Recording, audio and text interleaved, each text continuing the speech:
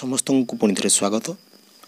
ଆସନ୍ତୁ ଆଜି ଆମେ ଏହି ଲେସନ୍ ମାଧ୍ୟମରେ ଆଲୋଚନା କରିବା ଶିକ୍ଷାର୍ଥୀର ବିକାଶକୁ ବୁଝିବା ବା ଅଣ୍ଡରଷ୍ଟାଣ୍ଡିଂ ଚାଇଲ୍ଡ ଡେଭଲପମେଣ୍ଟ ଯାହାକି ଆଗାମୀ ଦିନରେ ଆସୁଥିବା କୋଡ଼ିଏ ହଜାର ଜେ ଟି ଏସ୍ ରିକ୍ରୁଟମେଣ୍ଟ ପାଇଁ ବହୁତ ଉପଯୋଗୀ ରହିବ। ତେବେ ଆସନ୍ତୁ ଏଇ ଚାପ୍ଟରଟି ଆରମ୍ଭ କରିବା ପୂର୍ବରୁ ଦେଖିନେବା ଜେ ଟି ଏସ୍ ନିଯୁକ୍ତିର ସିଲାବସ୍ ସମ୍ପର୍କରେ ୱାନ୍ ପାଇଁ ଯାହାକି ଆମର ଚାଇଲ୍ଡ ଡେଭଲପମେଣ୍ଟ ଆଉ ପେଡାଗୋଜି ରହିଛି କୋଡ଼ିଏ ମାର୍କ ଚାଇଲ୍ଡ ଡେଭଲପମେଣ୍ଟରୁ କୋଡ଼ିଏ ମାର୍କ ଏବଂ ପେଡାଗୋଜିରୁ ଆମର ତିରିଶ ମାର୍କ ଏହିପରି ଭାବରେ ଯଦି ଦେଖିବା ଆମେ ଚାଇଲ୍ଡ ଡେଭଲପମେଣ୍ଟ ଆଉ ପେଡାଗୋଜିରେ ହିଁ ଆମର ଫିଫ୍ଟି ମାର୍କ ରହିଛି ଆଉ ସବଜେକ୍ଟ କଣ୍ଟେଣ୍ଟରେ ଫିଫ୍ଟି ମାର୍କ ରହିଛି ଏହିପରି ଭାବରେ ତା'ର ପାର୍ଟିସନ୍ ରହିଛି। ତ ଆମର ଚାଇଲ୍ଡ ଡେଭଲପମେଣ୍ଟ ଆଉ ପେଡାଗୋଜି ଆମର ଏଇ କ୍ଷେତ୍ରରେ ବିଶେଷ ଭୂମିକା ଗ୍ରହଣ କରୁଛି ତେଣୁ ଆଜି ଆମେ ଯେଉଁ ଆମର ଟି ଏଲ୍ ଡି କୋର୍ସର ଫାର୍ଷ୍ଟ ଇୟର ଯେଉଁ ରହିଛି ଆମର ଏଫ୍ ସି ଟୁ କୋର୍ସଟି ରହିଛି ଏଫ୍ ସି ଟୁର ଏଫ୍ ସି ଟୁର ଆମେ ୟୁନିଟ୍ ୱାନ୍ ଆଜି ଫୁଲ୍ କଭରେଜ୍ କରିବା। ଯାହାକି ମୋଷ୍ଟ ଇମ୍ପୋର୍ଟାଣ୍ଟ ଚାପ୍ଟର ରହିଛି ଯାହାକି growth and development growth and development growth and development ଚାପ୍ଟରଟିକୁ ଆଜି ଆମେ ସମ୍ପୂର୍ଣ୍ଣ ଭାବରେ ଆଲୋଚନା କରିବା। ତେଣୁ ଆମ ଚ୍ୟାନେଲରେ ପ୍ରଥମ ଥିଲେ ସବସ୍କ୍ରାଇବ୍ କରନ୍ତୁ ପାଖରେ ଆସୁଥିବା ବେଲ୍ ଆଇକନ୍କୁ ଅନ୍ କରିଦିଅନ୍ତୁ ଯାହାଫଳରେ ଆମେ ଯାହା ଭିଡ଼ିଓ ନେଇ ଆସିବୁ ଆପଣ ପାଇପାରିବେ ସର୍ବପ୍ରଥମେ ଏବଂ ଆପଣଙ୍କର ଭଲ ପାଇବା ଲାଇକ୍ ସେୟାର କମେଣ୍ଟ ଆକାରରେ ନିଶ୍ଚୟ ଜଣାଇବେ ଯାହାଫଳରେ ଏହିପରି ଭିଡ଼ିଓ ଆହୁରି ଆଣିବା ପାଇଁ ଆମକୁ ପ୍ରେରଣା ଯୋଗାଇବ।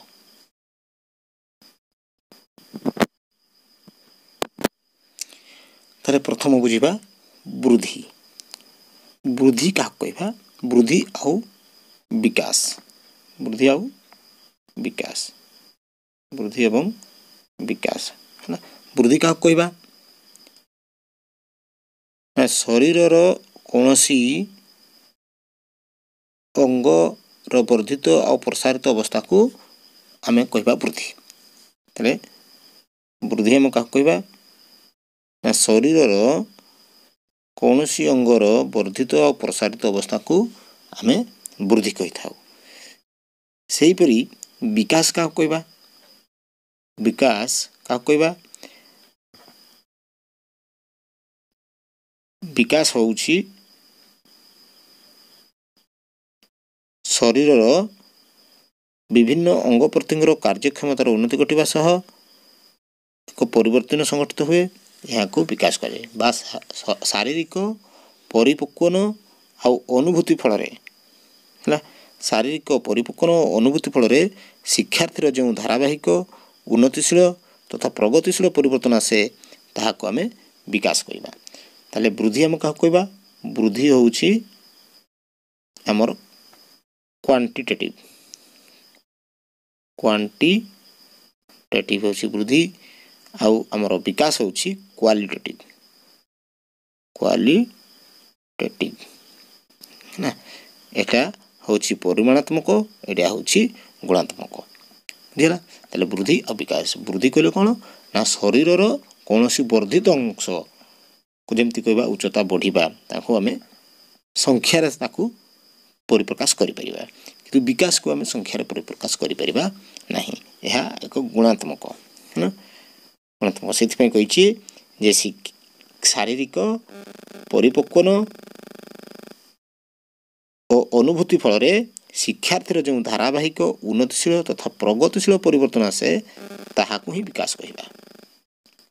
ତାହେଲେ ବୃଦ୍ଧି ଆଉ ବିକାଶ। ବୁଝିପାରିଲେ? ବୃଦ୍ଧି ହେଉଛି ଆମର କ୍ୱାଲିଟେ କ୍ୱାଣ୍ଟିଟେଟିଭ୍ କ୍ୱାଣ୍ଟିଟେଟିଭ୍ ଆଉ ବିକାଶ ହେଉଛି ଆମର କ୍ୱାଲିଟେଟିଭ୍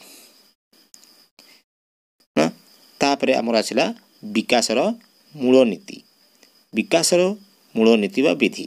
କ'ଣ କ'ଣ ରହିଛି ବିକାଶ ହେଉଛି ବଂଶଗତ ଆଉ ପରିବେଶ ଉପରେ ପର୍ଯ୍ୟବେସିତ। ନା ବଂଶଗତ ଆଉ ପରିବେଶ।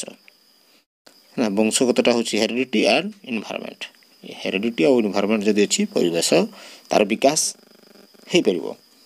ହେଲା ତାହେଲେ ବିକାଶ ହେଉଛି ଆମର କ'ଣ? ନା ବିକାଶର ମୂଳ ନୀତି କ'ଣ ରହୁଛି?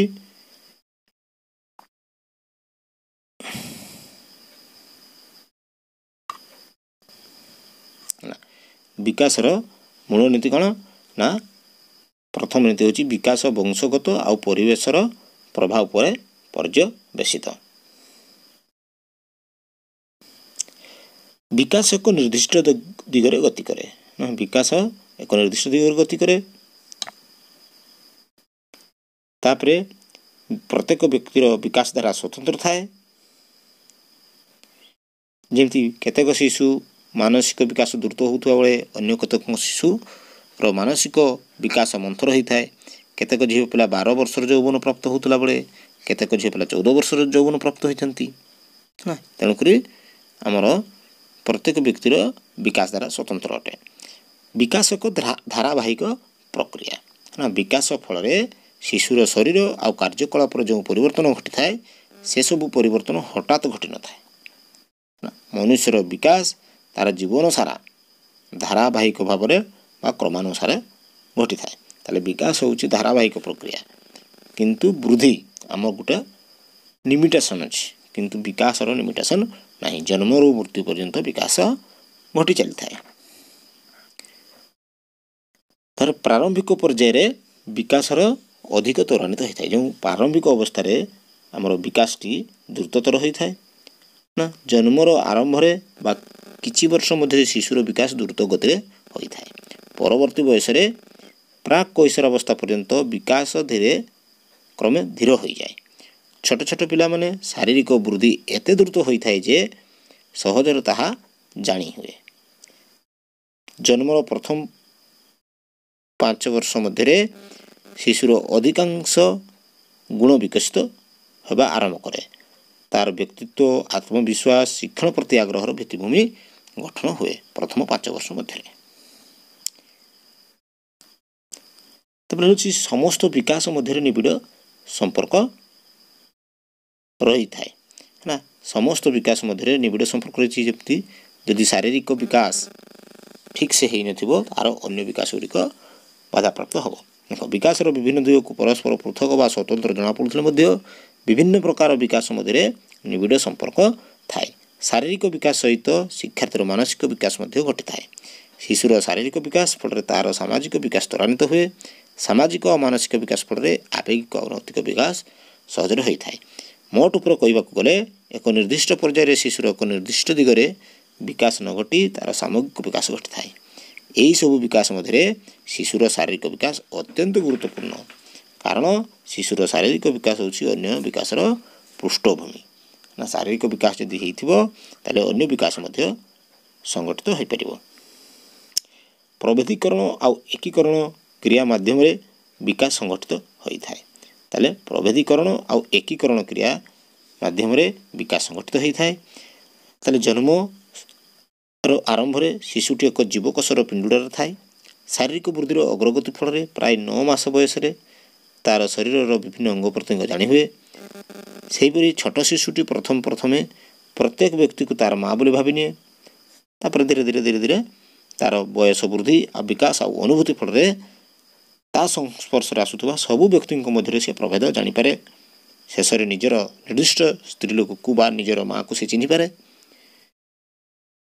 ପ୍ରଥମରେ ଯେପରି ପ୍ରଥମରେ କିଛି ଅବୁଝା ସ୍ୱର ସୃଷ୍ଟି କରେ ତାପରେ ଶବ୍ଦ ଆଉ ଦୁଇ ଶବ୍ଦ ବିଶିଷ୍ଟ ବାକ୍ୟ ଖଣ୍ଡବାକ୍ୟ ଆଉ ଶେଷରେ ସମ୍ପୂର୍ଣ୍ଣ ବାକ୍ୟ ଆରମ୍ଭ କରିଥାଏ।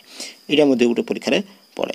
ଗୋଟେ କ୍ରମ କେଉଁ କ୍ରମଟି ଶିଶୁ କେଉଁ କ୍ରମରେ ବାକ୍ୟ କହିବା ବା କଥା କହିବା ଆରମ୍ଭ କରିଥାଏ। ତାହେଲେ ପ୍ରଥମ କ'ଣ? ପ୍ରଥମ ଅବୁଝା ସ୍ୱର ସୃଷ୍ଟି କରେ ପରେ ଏକ ଶବ୍ଦ କହେ ତାପରେ ଦୁଇ ଶବ୍ଦ ବିଶିଷ୍ଟ ବାକ୍ୟ କହେ ତାପରେ ଖଣ୍ଡବାକ୍ୟ କହେ ଶେଷରେ ସମ୍ପୂର୍ଣ୍ଣ ବାକ୍ୟ କହିବା ଆରମ୍ଭ କରିଥାଏ। ଏହା ହେଉଛି ତା'ର ପ୍ରଭେଦୀକରଣ ଆଉ ଏକୀକରଣ କ୍ରିୟା ମାଧ୍ୟମରେ ତା'ର ବିକାଶଟି ସଂଗଠିତ ହୋଇଥାଏ।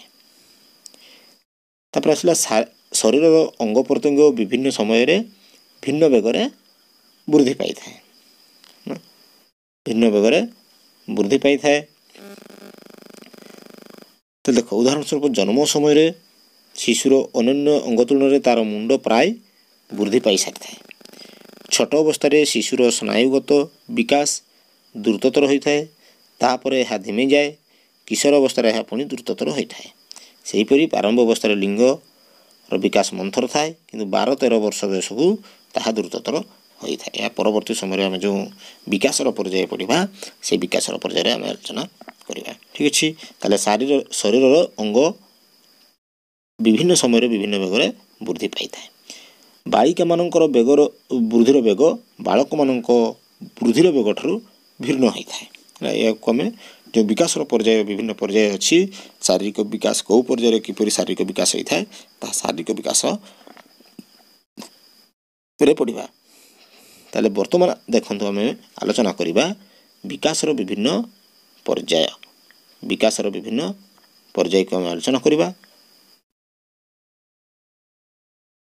ଦେଖନ୍ତୁ ବିକାଶର ବିଭିନ୍ନ ପର୍ଯ୍ୟାୟକୁ ଆମର କେତେକ ଗୋଟେ ଟେବୁଲ ରହିଛି ସାରଣୀ ମାଧ୍ୟମରେ ଆମେ ବୁଝିବା ତାହେଲେ ଶୈଶବାବସ୍ଥା ଶୈଶବାବସ୍ଥା ହେଉଛି ଜନ୍ମରୁ ତିନି ବର୍ଷ ବାଲ୍ୟ ଅବସ୍ଥା ବାଲ୍ୟ ଅବସ୍ଥା ତିନିରୁ ଦଶ ବାର ବର୍ଷ ପର୍ଯ୍ୟନ୍ତ। ପୁଣି ତାକୁ ଦୁଇ ଭାଗରେ ବିଭକ୍ତ କରାଯାଇଛି। ଆଲ୍ୟ ଆଦ୍ୟ ବାଲ୍ୟାବସ୍ଥା ତିନିରୁ ଛଅ ବର୍ଷ ଶେଷ ବାଲ୍ୟାବସ୍ଥା ଛଅରୁ ଦଶ ବାର ବର୍ଷ। ସେପରି କୈଶୋରାବସ୍ଥା ଦଶ ବାରରୁ ଉଣେଇଶ ବର୍ଷ ପ୍ରାକ୍ କୈଶୋରାବସ୍ଥା ଦଶ ବାରରୁ ତେର ଚଉଦ ବର୍ଷ ଏବଂ କୈଶୋରାବସ୍ଥା ହେଉଛି ତେର ଚଉଦରୁ ଉଣେଇଶ ବର୍ଷ। ସେହିପରି ଆମର ପରିଣତ ଅବସ୍ଥା ପରିଣତ ଅବସ୍ଥା ମଧ୍ୟ ଉଣେଇଶରୁ ଷାଠିଏ ବର୍ଷ ପରିଣତ ଅବସ୍ଥା ମଧ୍ୟ ଦୁଇ ଭାଗରେ ବିଭକ୍ତ ହୋଇଛି। ଆଦ୍ୟ ପରିଣତ ଅବସ୍ଥା ହେଉଛି ଉଣେଇଶରୁ ଚାଳିଶ ଆଉ ପରିଣତ ଅବସ୍ଥା ହେଉଛି ଚାଳିଶରୁ ଷାଠିଏ। ଆଉ ବାର୍ଦ୍ଧକ୍ୟ ଅବସ୍ଥା ଯାହା ଷାଠିଏ ବର୍ଷରୁ ମୃତ୍ୟୁ ବର୍ଷ ମୃତ୍ୟୁ ପର୍ଯ୍ୟନ୍ତ। ତାହେଲେ ହେଇଥିଲା ବିକାଶର ପର୍ଯ୍ୟାୟ। ତାହେଲେ ବିକାଶକୁ କେତୋଟି ପର୍ଯ୍ୟାୟରେ ବିଭକ୍ତ କରାହେଇଛି? ପାଞ୍ଚଟି ପର୍ଯ୍ୟାୟରେ ବିଭକ୍ତ କରାଯାଇଛି ପ୍ରଥମ ହେଲା ଶୈଶବାବସ୍ଥା ହେଲା ଶୈଶବାବସ୍ଥା ଶୂନରୁ ତିନି ବର୍ଷ ବାଲ୍ୟାବସ୍ଥା ତିନିରୁ ଦଶ ବାର ବର୍ଷ ପୁଣି ଆଦ୍ୟ ବାଲ୍ୟାବସ୍ଥା ବାଲ୍ୟାବସ୍ଥାକୁ ଦୁଇ ଭାଗରେ ବିଭକ୍ତ କରାଲା ଆଦ୍ୟ ବାଲ୍ୟାବସ୍ଥା ତିନିରୁ ଛଅ ଆଉ ଶେଷ ବାଲ୍ୟାବସ୍ଥା ହେଉଛି ଛଅରୁ ଦଶ ବାର। ସେମିତି କୈଶୋରାବସ୍ଥା ଦଶ ବାରରୁ ଉଣେଇଶ ବର୍ଷ ପ୍ରାକ୍ କୈଶୋରାବସ୍ଥା ହେଉଛି ଦଶ ବାରରୁ ତେର ଚଉଦ ବର୍ଷ ଆଉ କୈଶୋରାବସ୍ଥାର ତେର ଚଉଦରୁ ଉଣେଇଶ ବର୍ଷ। ଏହିପରି ଆମର ପାଞ୍ଚଟି ଅବସ୍ଥାରେ ବିଭକ୍ତ କରାଯାଇଛି। ଶୈଶବାବସ୍ଥା ବାଲ୍ୟାବସ୍ଥା କୈଶୋରାବସ୍ଥା ପରିଣତ ଅବସ୍ଥା ଆଉ ବାର୍ଦ୍ଧକ୍ୟ ଅବସ୍ଥା।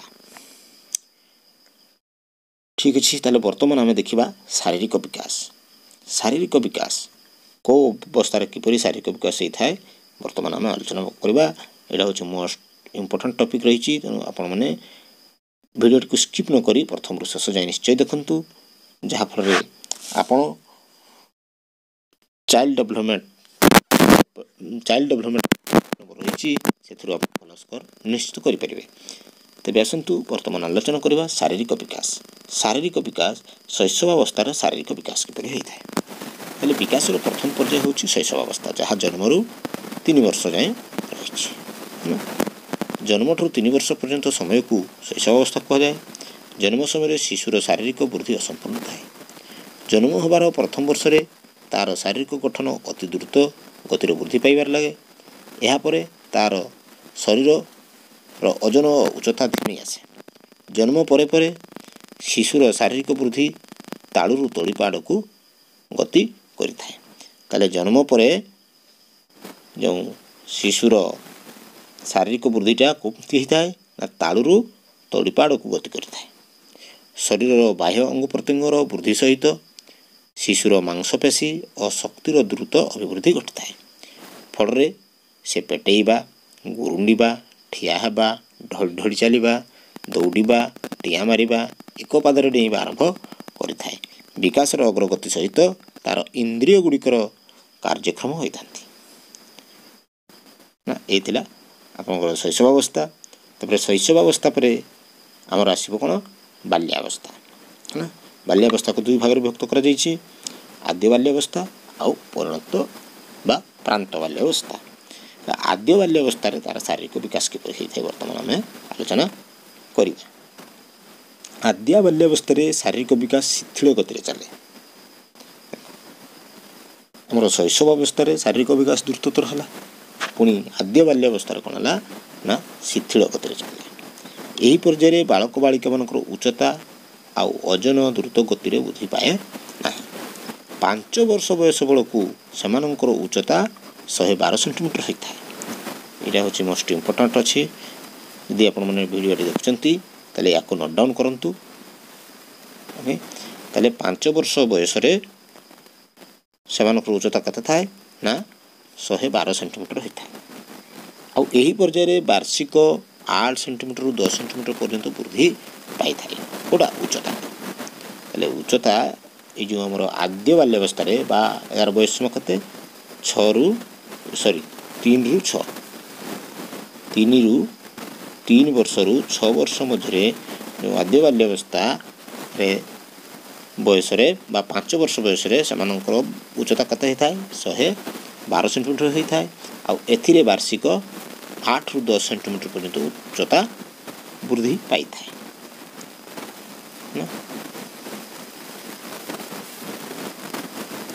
ଆଉ ଏଇ ବୟସରେ ବା ଏଇ ପର୍ଯ୍ୟାୟରେ ସେମାନଙ୍କ ଶରୀର ଉଚ୍ଚତା ତୁଳନାରେ ଓଜନର ବେଶୀ ବୃଦ୍ଧି ହୋଇନଥାଏ ସେଥିପାଇଁ ବାଳକ ବାଳିକାମାନେ ଏହି ପର୍ଯ୍ୟାୟରେ ପତଳା ଆଉ ଡେଙ୍ଗା ଦେଖାଯାଆନ୍ତି ଏହି ପର୍ଯ୍ୟାୟରେ ବାଳକମାନଙ୍କ ଅପେକ୍ଷା ବାଳିକାମାନେ ପ୍ରସାଧନ ସମ୍ବନ୍ଧୀୟ ଅଭ୍ୟାସ ଓ ପ୍ରଶିକ୍ଷଣ ବା ଦକ୍ଷତା ଶୀଘ୍ର ଶିକ୍ଷା କରିଥାନ୍ତି ବା ଟଏଲେଟ୍ ଟ୍ରେନିଂ ଯେଉଁ କହୁଛନ୍ତି ଆମେ ତାହାକୁ ଶୀଘ୍ର ମାନେ ଶିକ୍ଷା କରିଥାନ୍ତି କେଉଁମାନେ? ବାଳିକାମାନେ ପ୍ରସାଧନ ସମ୍ବନ୍ଧୀୟ ଅଭ୍ୟାସ ପିତାମାତାଙ୍କର ତାଲିମ ଉପରେ ମଧ୍ୟ ନିର୍ଭର କରିଥାଏ।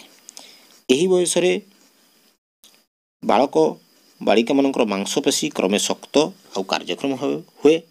ଫଳରେ ନିଜ ଶରୀରର ସମୁତୋଳନ ରକ୍ଷା କରି ଗଛ ଚଢ଼ିବା କାନ୍ଥ ଉପରେ ଚଢ଼ିବା ପାହାଚ ଚଢ଼ିବା ବଲ୍ ଫିଙ୍ଗିବା ଏହିପରି ଖେଳକୁଦରେ ସେମାନେ ନିମଗ୍ନ ରୁହନ୍ତି। ଆଉ ମାଂସପେଶୀର ବୃଦ୍ଧି ଫଳରେ ସେମାନେ କଲମ ଆଉ ପେନସିଲ୍ ଧରି ଚିତ୍ର ଆଙ୍କିବା ଲେଖାଲେଖି କରିବା ଆରମ୍ଭ କରିଥାନ୍ତି। ତିନିରୁ ଛଅ ବର୍ଷ ବୟସ ମଧ୍ୟରେ ବା ଯେଉଁଟା ଆମେ କହୁଛନ୍ତି ଅଙ୍ଗନବାଡ଼ିରେ ସେମାନେ ତାଙ୍କର ସେଟା ଆମେ ପଢ଼ିବା ଯେଉଁ ଆମର ସାମାଜିକ ବିକାଶ ପଢ଼ିବା ତ ବର୍ତ୍ତମାନ ଆମେ ଶାରୀରିକ ବିକାଶ କଥା ଆଲୋଚନା କରୁଛନ୍ତି। ତ ବର୍ତ୍ତମାନ ଦେଖିବା ପରବର୍ତ୍ତୀ ବାଲ୍ୟାବସ୍ଥାରେ ତାଙ୍କର ଶାରୀରିକ ବିକାଶ। ପରବର୍ତ୍ତୀ ବାଲ୍ୟାବସ୍ଥା କଲେ ଛଅରୁ ଦଶ ବାର। ଛଅରୁ ଦଶ ବର୍ଷ ବାର ବର୍ଷରେ ତାଙ୍କର କ'ଣ? ପରିବର୍ତ୍ତନ ହୋଇଥାଏ। ଏହି ପର୍ଯ୍ୟାୟରେ ବାଳକ ବାଳିକାମାନଙ୍କର ଶାରୀରିକ ବିକାଶ ବିଶ୍ରାନ୍ତି ଭାବରେ ବା ରହି ରହି ଘଟିବା ପରିଲକ୍ଷିତ ହୋଇଥାଏ। ତାହେଲେ ଦେଖ ପ୍ରଥମରେ ଯେଉଁ ଆମର ଶୈଶବ ଅବସ୍ଥାରେ କ'ଣ ହେଲା ଦ୍ରୁତତର ହେଲା ତାପରେ ଶିଥିଳ ଗତିରେ ଚାଲିଲା ତାପରେ ବର୍ତ୍ତମାନ ବିଶ୍ରାନ୍ତି ଭାବରେ ବା ରହି ରହି ଚାଲିଛି। ଏହି ବୟସରେ ସେମାନଙ୍କ ଶରୀର ଗଣ୍ଡି ତୁଳନାରେ ହାତ ଗୋଡ଼ର ଦ୍ରୁତ ବେଗରେ ବଡ଼ ଓ ଶକ୍ତ ହେବାର ଲାଗେ। ତାହେଲେ ଏଇ ଯେଉଁ ବୟସ ବା ଛଅରୁ ଦଶ ବାର ବର୍ଷ ମଧ୍ୟରେ ପିଲାମାନଙ୍କର ଶରୀରର ଗଣ୍ଡି ତୁଳନାରେ ହାତ ଆଉ ଗୋଡ଼ର ଦ୍ରୁତ ମାନେ ବୃଦ୍ଧିଟା ଦ୍ରୁତ ଗତିରେ ହୁଏ ଶକ୍ତ ହୁଏ ଆଉ ବଡ଼ ହେବାର ଲାଗେ। ଏହା ଫଳରେ ଅଧିକାଂଶ ପିଲା ଏହି ବୟସରେ ଲମ୍ବା ଆଉ ପତଳା ଦେଖାଯାନ୍ତି ଦଶ ବର୍ଷ ପର୍ଯ୍ୟନ୍ତ ବାଳକ ବାଳକମାନେ ବାଳିକାମାନଙ୍କ ଅପେକ୍ଷା ଉଚ୍ଚ ଆଉ ଓଜନିଆ ରହନ୍ତି। ଏହି ବୟସରେ ପିଲାମାନେ ସମବୟସୀ ଅନ୍ୟ ପିଲାଙ୍କ ତୁଳନାରେ ଯେପରି ଭାବରେ ଉଚ୍ଚ ଆଉ ଓଜନିଆ ଥାନ୍ତି ପରବର୍ତ୍ତୀ ସମୟରେ ମଧ୍ୟ ସେହିପରି ତାଙ୍କର ବିକାଶ ଧାରାଟା ଜାରି ରହିଥାଏ। ଏହି ବୟସରେ ପିଲାମାନଙ୍କର ସୂକ୍ଷ୍ମ ଓ ସ୍ଥୂଳ ମାଂସପେଶୀର ଅଧିକ ଅଭିବୃଦ୍ଧି ହେବା ଫଳରେ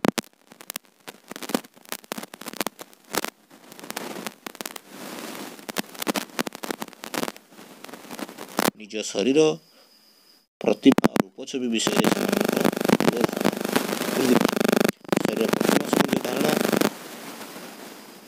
ଶରୀର ଏବଂ ବିଭିନ୍ନ ଅଙ୍ଗ ପ୍ରତ୍ୟଙ୍ଗ ବିଷୟରେ ସଚେତନ ଆଉ ଅନ୍ୟ ପିଲାର ଶରୀର ଅଙ୍ଗ ପ୍ରତ୍ୟଙ୍ଗ ତୁଳନାରେ ନିଜ ଶରୀରର ରୂପ ତଥା ଶକ୍ତି ଓ ଦକ୍ଷତାର ମୂଲ୍ୟାୟନ ସେମାନେ କରିଥାନ୍ତି।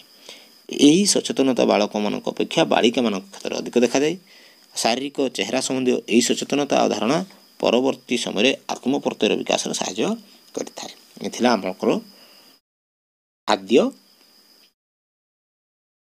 ପରିଣତ ବାଲ୍ୟାବସ୍ଥାର ବା ପ୍ରାନ୍ତ ବାଲ୍ୟାବସ୍ଥାର ଶାରୀରିକ ବିକାଶ ବର୍ତ୍ତମାନ ଆସିବା ଆମେ କୈଶୋର ଅବସ୍ଥା ବା ପ୍ରାକ୍ କୈଶୋର ଅବସ୍ଥା ପ୍ରାକ୍ କୈଶୋର ଅବସ୍ଥା କେତେ ପ୍ରାକ୍ କୈଶୋର ଅବସ୍ଥାରେ ଶାରୀରିକ ବିକାଶ ପ୍ରାକ୍ କୈଶୋର ଅବସ୍ଥା ହେଉଛି ଆମର ଦଶ ବାରରୁ ତେର ଚଉଦ ତେର ଚଉଦ ପର୍ଯ୍ୟନ୍ତ ତାହେଲେ ପାକ କୈଶୋର ଅବସ୍ଥା କେଉଁଟା କୁହାଯାଏ ନା ଯେଉଁ ଆମର ବାଲ୍ୟ ଅବସ୍ଥା ଶେଷ ହେଲା ବାଲ୍ୟ ଅବସ୍ଥା ଶେଷ ହେବା ପୂର୍ବରୁ ହେଲା ଶାରୀରିକ ପରିପକ୍ୱତା ନିମନ୍ତେ ପ୍ରକ୍ରିୟା ଆରମ୍ଭ ହୋଇଥାଏ। ଏହି ପରିବର୍ତ୍ତନ ପ୍ରକ୍ରିୟା କୈଶୋରାବସ୍ଥାର ପ୍ରଥମ ଦୁଇ ତିନି ବର୍ଷ ପର୍ଯ୍ୟନ୍ତ ଲାଗି ରହିଥାଏ। ଏହି ସମୟକୁ ପ୍ରାକ୍ କୈଶୋରାବସ୍ଥା କୁହାଯାଏ। ପ୍ରାକ୍ କୈଶୋରାବସ୍ଥାକୁ କୈଶୋରାବସ୍ଥା ପ୍ରସ୍ତୁତି ସମୟ କହିଲେ ଅତ୍ୟୁକ୍ତି ହେବ ନାହିଁ। ଏହି ଅବସ୍ଥାରେ ଘଟୁଥିବା ପରିବର୍ତ୍ତନ ହର୍ଲୋକଙ୍କ ମତରେ କ୍ଷିପ୍ର ନୁହେଁ କି ଧୀର ନୁହେଁ। ତାହେଲେ ଏଇ ଯେଉଁ ପ୍ରାକ୍ କୈଶୋରାବସ୍ଥାରେ ଘଟୁଥିବା ପରିବର୍ତ୍ତନ ଗୁଡ଼ିକ କ୍ଷିପ୍ର ନୁହେଁ କି ଧୀର ନୁହେଁ ବୋଲି କିଏ କହିଛନ୍ତି? ନା ହର୍ଲକ୍ କହିଛନ୍ତି। କିନ୍ତୁ ପ୍ରାୟ ଅଧିକାଂଶ ଲୋକ ବିଶ୍ୱାସ କରନ୍ତି ଯେ ଏହି ଅବସ୍ଥାରେ ଶରୀରର ଦ୍ରୁତ ପରିବର୍ତ୍ତନ ଘଟିଥାଏ। ପ୍ରକୃତରେ ଏହି ପରିବର୍ତ୍ତନ ଏକ ବିଶେଷ ଆଉ ଅଦ୍ଭୁତପୂର୍ବ ଅଟେ ଯାହାକି ପୂର୍ବରୁ ଅଧିକାଂଶ ପରିବର୍ତ୍ତନ ଠାରୁ ସମ୍ପୂର୍ଣ୍ଣ ଭିନ୍ନ ଅଟେ। ଏହି ଅବସ୍ଥାରେ ପିଲାଟି ଲିଙ୍ଗଭିତ୍ତିକ ସାବାଳକରେ ପରିଣତ ହେବାକୁ ଆରମ୍ଭ କରିଥାଏ। ଆରମ୍ଭ କରିଥାଏ ସାବାଳକରେ ପରିଣତ ହୋଇନଥାଏ। କାରଣ ଏହି ଅବସ୍ଥାରେ ତାହାର ଯୌନାଙ୍ଗରେ ପରିବର୍ତ୍ତନ ଲକ୍ଷଣମାନ ପ୍ରଦୃଷ୍ଟ ହୁଏ ଆଉ ତାହାର ସନ୍ତାନ ଉପଜିବା କ୍ଷମତାର ବିକାଶ ଆରମ୍ଭ ହୋଇଥାଏ ଏଥିସହିତ ତାହାର ମୁଖ୍ୟ ତଥା ଆଭ୍ୟନ୍ତରୀଣ ଯୌନାଙ୍ଗ ଓ ବାହ୍ୟ ଆଉ ଗୌଣ ଯୌନାଙ୍ଗ ଗୁଡ଼ିକର ବୃଦ୍ଧି ବିକାଶ ଗୋଷ୍ଠୀ କାର୍ଯ୍ୟକ୍ରମ ହେବାକୁ ଆରମ୍ଭ କରିଥାଏ କିନ୍ତୁ ଝିଅମାନଙ୍କର ଗର୍ଭଧାରଣ କ୍ଷମତାର ପରିପକ୍ୱତା ଆସିନଥାଏ ଏଥିପାଇଁ ଅଠର ଉଣେଇଶ ବର୍ଷ ସମୟ ଲାଗିଥାଏ। ନା କାରଣ ଏହି ସମୟରେ ଗର୍ଭାଶୟ ସମ୍ପୂର୍ଣ୍ଣ ବିକାଶ ହୋଇନଥାଏ ଅପରିପକ୍ୱ ହେତୁ ଏହା ସନ୍ତାନ ଧାରଣକ୍ଷମ ହୋଇନଥାଏ। ଏହି ଅବସ୍ଥାରେ ନାବାଳକ ଅବସ୍ଥାରେ ଥିବା ପିଲାଟି ପାଖରେ ସାବାଳକର ବାହ୍ୟ ଯୌନ ଲକ୍ଷଣ ଦେଖାଯାଇଥାଏ ଝିଅମାନଙ୍କ କ୍ଷେତ୍ରରେ ମାସିକ ଋତୁସ୍ରାବ ଆରମ୍ଭ ହୋଇଥାଏ ପୁଅମାନଙ୍କ କ୍ଷେତ୍ରରେ ସ୍ୱପ୍ନଦୋଷ ଆରମ୍ଭ ହୋଇଥାଏ ନାରୀମାନଙ୍କ କ୍ଷେତ୍ରରେ ବା ଝିଅମାନଙ୍କ କ୍ଷେତ୍ରରେ ସମସ୍ତ ନାରୀ ସୁଲଭ ଲକ୍ଷଣ ପ୍ରକାଶ ପାଇଥାଏ ପୁଅମାନଙ୍କ କ୍ଷେତ୍ରରେ ପୁରୁଷ ସୁଲଭ ଲକ୍ଷଣ ପ୍ରକାଶ ପାଇଥାଏ। ଆଉ ପୁଅ ଝିଅ ପରସ୍ପର ପ୍ରତି ଆକୃଷ୍ଟ ହୁଅନ୍ତି ଉଚ୍ଚତା ଓଜନ ଏହି ଅବସ୍ଥାରେ ବୃଦ୍ଧି ପାଏ ମାଂସପେଶୀ ଅଧିକ ଟାଣ ଆଉ ଶକ୍ତ ହୁଏ ଏଣୁ ଶରୀର ଅଧିକ କାର୍ଯ୍ୟକ୍ଷମ ହୋଇଥାଏ ଶରୀରର ବର୍ଦ୍ଧିଷ୍ଣୁ ଅଙ୍ଗ ପ୍ରତ୍ୟଙ୍ଗ ଗୁଡ଼ିକର କାର୍ଯ୍ୟକ୍ଷମତା ମଧ୍ୟ ବୃଦ୍ଧି ପାଇଥାଏ ଏହା ଥିଲା ପ୍ରାକ୍ କୈଶୋରାବସ୍ଥାରେ ଶାରୀରିକ ବିକାଶ। ବର୍ତ୍ତମାନ ଦେଖିବା। ଆମେ ସାମାଜିକ ବିକାଶ ଶାରୀରିକ ବିକାଶ ହେଲା ସାମାଜିକ ବିକାଶ। ସାମାଜିକ ବିକାଶ କହିଲେ କ'ଣ ବୁଝିବା? ନା ସାମାଜିକ ବିକାଶ କହିଲେ ସାମାଜିକ ବିକାଶ କହିଲେ ଶିଶୁମାନଙ୍କର ସାମାଜିକ ଆଚରଣର ପରିପ୍ରକାଶକୁ ବୁଝାଏ। ଶିଶୁ ସମାଜର ଅନ୍ୟମାନଙ୍କ ସହିତ କେଉଁ ପ୍ରକାର ସମ୍ପର୍କ ସ୍ଥାପନ କରେ ସେମାନଙ୍କ ସହିତ କେଉଁ ପ୍ରକାର କାର୍ଯ୍ୟକଳାପରେ ସେ ଲିପ୍ତ ରହେ ଯେଉଁ ସମାଜ ଓ ଗୋଷ୍ଠୀରେ ସେ ଚଳିଥାଏ ସେ ସମାଜ ଆଉ ଗୋଷ୍ଠୀର ଜାତି ନିୟମ ସେହି ଅନୁରୂପ ଆଚରଣ ପ୍ରଦର୍ଶନ କଲେ। ତାହାକୁ ହିଁ କହିବା ଆମେ ସାମାଜିକ ବିକାଶ। ଶିଶୁର ସାମାଜିକ ବିକାଶ ତା'ର ଶୈଶବ ଅବସ୍ଥାରୁ ହିଁ ଆରମ୍ଭ ହୋଇଥାଏ। ସାମାଜିକ ବିକାଶଟା ଶୈଶବ ଅବସ୍ଥାରୁ ହିଁ ଆରମ୍ଭ ହୁଏ। ଜନ୍ମର କିଛି ମାସ ମଧ୍ୟରେ ଶିଶୁ ପାଞ୍ଚଟି ସରଳ ଆଚରଣ ପ୍ରଦର୍ଶନ କରିଥାଏ। ପାଞ୍ଚଟି ଏଇଟା ହେଉଛି ଇମ୍ପୋର୍ଟାଣ୍ଟ ଜିନିଷ ରହିଛି ଯେ ଶିଶୁ ପ୍ରଥମ କେଉଁ କେଉଁ ପାଞ୍ଚଟି ସରଳ ଆଚରଣ ପ୍ରଦର୍ଶନ କରେ। କେଉଁ କେଉଁ ଆଚରଣ ପ୍ରଦର୍ଶନ କରେ? ସ୍ଥିର ଦୃଷ୍ଟିରେ ନିରୀକ୍ଷଣ କରିବା କାନ୍ଦିବା ହସିବା ଅସ୍ପଷ୍ଟ ବା କୁଳୁ କୁଳୁ ଶବ୍ଦ କରିବା ଅନୁକରଣମୂଳକ ଆଚରଣ ପ୍ରଦର୍ଶନ କରିବା। ଏଇଟା ହେଉଛି ପାଞ୍ଚଟି ତାର ସରଳ ଲକ୍ଷଣ। କ'ଣ କ'ଣ? କାନ୍ଦିବା କାନ୍ଦିବା ହସିବା ସ୍ପଷ୍ଟ ବା କୁଳୁ କୁଳୁ ଉଚ୍ଚାରଣ କରିବା ଶବ୍ଦ କରିବା ଯେଉଁଟା ଅନୁକୁ ଅନୁକରଣମୂଳକ ଆଚରଣ ଦେଖେଇବା। ଏଇଟା ହେଉଛି ତାର ପାଞ୍ଚଟା ହେଉଛି ସରଳ ଆଚରଣ ପ୍ରଦର୍ଶନ ହେଲା ଏହି ପାଞ୍ଚଟି ଆଚରଣ ମାଧ୍ୟମରେ ଛୋଟ ଛୋଟ ଶିଶୁମାନେ ସାମାଜିକ ସମ୍ପର୍କ ସ୍ଥାପନ କରନ୍ତି ଦୁଇ ବର୍ଷ ବେଳକୁ ସେମାନେ ନିଜର ସ୍ୱାତନ୍ତ୍ରତା ଜାହିର କରିବା ପାଇଁ ଚେଷ୍ଟା କରନ୍ତି ଦୁଇ ବର୍ଷ ବୟସରେ ସେମାନେ ତାଙ୍କର ସ୍ୱତନ୍ତ୍ରତା ଜାହିର କରିବା ପାଇଁ ଚେଷ୍ଟା କରନ୍ତି। ବେଳେବେଳେ ପିତାମାତାଙ୍କର କଥାକୁ ଅମାନ୍ୟ କରନ୍ତି। ଦୁଇ ବର୍ଷ ତିନି ବର୍ଷ ମଧ୍ୟରେ ଶିଶୁମାନେ ବାହ୍ୟ ଜଗତ ବିଷୟରେ ଏକ ସାଧାରଣ ମନୋଭାବ ପୋଷଣ କରନ୍ତି ଶୈଶବାବସ୍ଥାରେ ଶିଶୁର ସାମାଜିକ ବିକାଶ ମୋଟାମୋଟି ଭାବରେ ତା'ର ଗୃହ ପରିବେଶ ସହିତ ପ୍ରଭାବିତ ହୋଇଥାଏ। ଶୈଶବାବସ୍ଥାରେ ତା'ର ସାମାଜିକ ବିକାଶଟା କେଉଁଠି ଥାଏ? ନା ତା'ର ସାମାଜିକ ବିକାଶଟା ଆମର ଗୃହ ପରିବେଶ ଉପରେ ପ୍ରଭାବିତ ହୋଇଥାଏ। ହେଲା ତାପରେ ଆସିଲା ଆମର ଆଦ୍ୟ ବାଲ୍ୟାବସ୍ଥାର ସାମାଜିକ ବିକାଶ। ଆଦ୍ୟ ବାଲ୍ୟାବସ୍ଥାର ସାମାଜିକ ବିକାଶ କିପରି ହୋଇଥାଏ ନା ଆଦ୍ୟ ବାଲ୍ୟାବସ୍ଥାରେ ଶିଶୁ କ'ଣ କରେ ସାମାଜିକ ସମ୍ପର୍କଟା ତା'ର ଗୃହ ପରିବେଶରୁ ସାଥୀ ପରିବେଶ ଆଉ ବାହ୍ୟ ପରିବେଶ ଆଡ଼କୁ ସମ୍ପ୍ରସାରିତ ହେବାକୁ ଲାଗେ। ଦେଖ ଯେତେବେଳେ ଆମର ଆଦ୍ୟ ବାଲ୍ୟାବସ୍ଥା କେତେ ବୟସ? ନା ତିନିରୁ ଛଅ ବର୍ଷ। ତିନିରୁ ଛଅ ବର୍ଷ ବୟସ ମଧ୍ୟରେ ଶିଶୁଟି କ'ଣ ହୁଏ? ନା ତାର ସାଙ୍ଗସାଥିମାନଙ୍କ ସହିତ ମିଶିବା ଆରମ୍ଭ କରିଥାଏ। ବା ଆମର ଯେଉଁ ରହିଛି ପ୍ରି ପ୍ରାଇମେରୀ ଏଜୁକେସନ୍ ବା ଆମର ଯେଉଁ ଅଙ୍ଗନବାଡ଼ିରେ ସେ ତାର ଶିକ୍ଷା ଆରମ୍ଭ କରେ। ତେଣୁ ତାର ପରିବେଶଟା ଯେଉଁ ଗୃହ ପରିବେଶର ସହିତ ତାର ପରିବାର ପରିବେଶ ସହିତ ସଂଶ୍ଳିଷ୍ଟ ଥିଲା ତାହା ସମ୍ପ୍ରସାରିତ ହୁଏ ଆଉ ତାର ସାମାଜିକ ସମ୍ପର୍କଟା ଗୃହ ପରିବେଶରୁ ସାଥୀ ପରିବେଶ ଆଉ ବାହ୍ୟ ପରିବେଶ ଆଡ଼କୁ ସମ୍ପ୍ରସାରିତ ହୁଏ। ଫଳରେ ସେମାନେ ବିଭିନ୍ନ ସାମାଜିକ ମନୋବୃତ୍ତି ଦକ୍ଷତା ଆଚରଣ ଶିକ୍ଷା କରିଥାନ୍ତି। ସେମାନଙ୍କର ସାମାଜିକ ସମ୍ପର୍କ ବୃଦ୍ଧି ପାଇବା ଫଳରେ ସେମାନେ ବିଭିନ୍ନ ପିଲା ଆଉ ବ୍ୟକ୍ତିକୁ ଚିହ୍ନନ୍ତି। ସମବୟସର ପିଲାମାନଙ୍କ ସହିତ ଖେଳିବା ଫଳରେ ନେବା ଅନ୍ୟ ସାଥୀମାନଙ୍କ ସହିତ ଖେଳଣା ବାଣ୍ଟି ଖେଳିବା ସେମାନଙ୍କ ସହିତ ପ୍ରତିଯୋଗିତା ସହଯୋଗ କରିବା ଦଳରେ ନେତୃତ୍ୱ ନେବା ସହିତ ଦଳପତିଙ୍କ ଅନୁଗାମୀ ହେବା ଆଦି ଗୁଣ ଶିକ୍ଷା କରନ୍ତି ହେଲା ଶିକ୍ଷା କରନ୍ତି ଶିଶୁମାନଙ୍କର ସାମାଜିକୀକରଣ ଏକ ପ୍ରକ୍ରିୟା ଯାହାଫଳରେ ଶିଶୁମାନେ ସାମାଜିକ ବିଚାରଧାରା ଓ ଆତ୍ମନିୟନ୍ତ୍ରଣ ଗୁଣ ଶିକ୍ଷା କରି ଭବିଷ୍ୟତରେ ସମାଜର ଏକ ଦାୟିତ୍ୱ ସମ୍ପନ୍ନ ବ୍ୟକ୍ତି ହୋଇପାରନ୍ତି। ଶିଶୁମାନଙ୍କର ସାମାଜିକୀକରଣ ସାଧାରଣତଃ ଅନୁଶାସନ ଆଉ ଅନୁକରଣ ପ୍ରଣାଳୀ ଦ୍ୱାରା ସମ୍ଭବ ହୋଇଥାଏ। ତାହେଲେ ଶିଶୁମାନଙ୍କର ସାମାଜିକୀକରଣ କେମିତି ହେଇଥାଏ? ଅନୁଶାସନ ଦରକାର ହେଇଥାଏ ଆଉ ଅନୁକରଣ। ଯେଉଁମାନେ ତାଙ୍କ ପରିବେଶରେ ଯେଉଁଭଳି ପରିବେଶ ଥାଏ ବା ଯେଉଁ ଯାହା ସେମାନେ ଗୁରୁଜନମାନେ ଯାହା କରନ୍ତି ତାକୁ ସେମାନେ ଅନୁକରଣ କରି ସେଇ ଅନୁସାରେ ତାଙ୍କର ସାମାଜିକ ବିକାଶ ହୋଇଥାଏ। ତାହେଲେ ପରବର୍ତ୍ତୀ ବାଲ୍ୟାବସ୍ଥାରେ ସାମାଜିକ ବିକାଶ। ପରବର୍ତ୍ତୀ ବାଲ୍ୟାବସ୍ଥା କରେ କେଉଁଟା? ନା ଛଅରୁ ଆମର ଦଶ ବାର। ଦେଖନ୍ତୁ ଛଅରୁ ଦଶ ବାର ବୟସରେ ତାର କ'ଣ ହୁଏ? ବିଦ୍ୟାଳୟ ଶିକ୍ଷା ଆରମ୍ଭ ହୁଏ। ହଁ କି ନାହିଁ ତେଣୁ ଜୀବନର ଏହି ସମୟ ଆନନ୍ଦଦାୟକ ଆଉ ସ୍ମରଣୀୟ ସମୟ ସମସ୍ତଙ୍କ ପାଇଁ।